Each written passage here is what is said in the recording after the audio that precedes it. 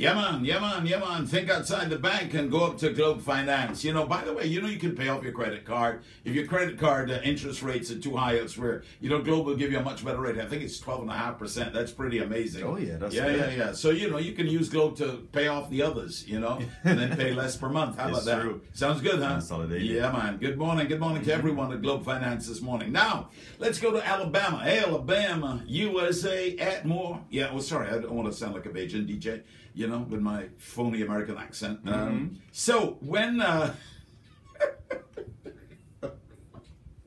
Oh, this is a bad one. This is a bad story. This is a funny story. This is a clean, That's what I clean mean, yeah. story. This is about the good book. This is about this is about the word. This is about the gospel. All right. You have to ingest the gospel. You have to let it sink into your very being. And you have to listen to the word and let the word change you. You you hearing me, Crispy? I'm hearing you. All I'm right. hearing Are you ready for the word? Sure, ready for it. Give me an amen. Amen. All right. Now, it's going to be amen, all right. So when prison staff asked 33-year-old Jeremy Morris if he wanted anything special for his last meal, he answered, I just want a Bible. Uh, that's fair enough. So the prison guards at William C. Holman Correctional Facility thought he wanted to pray and repent for his sins. Heavenly Father, bless me, Father, for I have sinned, you know, and I've done all these horrible things. I've killed someone, and now I'm going to pay with my life. So they gave him an old copy of the King James Bible. And against all expectations, the condemned murderer began tearing up the holy book and eating it. You see, he really wanted to take in the word. to embrace the word, to take it in, Oh, literally boy. and figuratively.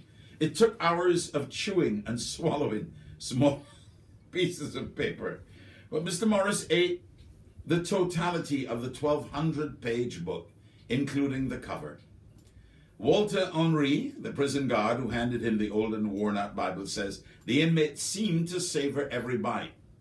He kept tearing pieces from his Bible and eating them like they were potato chips. Holman prison director Frank Davis says the staff decided to let the prisoner eat the Bible because it didn't violate the establishment's last meal policy. In most states and various countries where the death penalty is still legal, it's customary to give customers uh, sentenced to death a special last meal.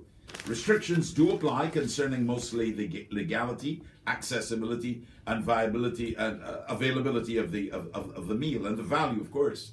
Uh, Mr. Morris chose the meal that was locally accessible and worth less than $40, making it conform to the Alabama Correctional Facility rules. Um, he killed two Catholic nuns back in 2007. Well, you know, they say that you can repent even at the last moment. So he not only read the good book, He ate it. well, he decided it wasn't time to read it. So you know what? Let me ingest the word. All right. So he took it all in. Yeah. It may be a case of a little too little, too late. Nonetheless, Yes, very much so. He thought he'd be forgiven now. yeah, yeah. Man wanted to digest the good word and swallow the word of the Lord. You know, swallow. You know. Yeah, I think I think that's admirable. What do you think? It's a little unconventional. Yeah, It's a bit strange too, but yeah, It's very much so. I hope he gave an amen at the end, and I hope that he prayed for forgiveness, and I hope that he prayed to enter the pearly gates. But there you have it. That is one of the most bizarre stories I've come across in not Necessarily the news brought to you by Globe Finance. Think outside the bank. You're still up? Yes. Uh,